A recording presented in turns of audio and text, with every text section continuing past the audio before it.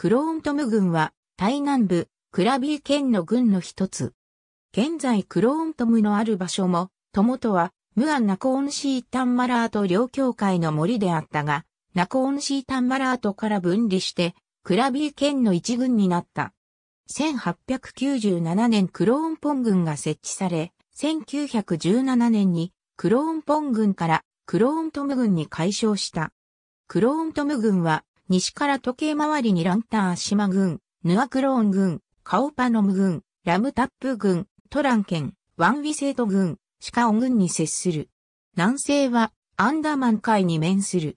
クローントム郡は7つのタムボンに分かれ、さらにその海に67の村がある。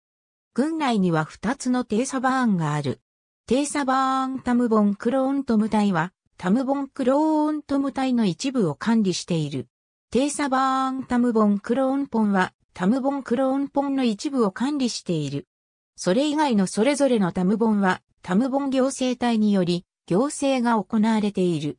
有名なクロントム温泉がありそれ以外にもローカルな温度集めの温泉もある。クロントム博物館もあるが、英語表記がなくすべて、タイ語表記となる。ありがとうございます。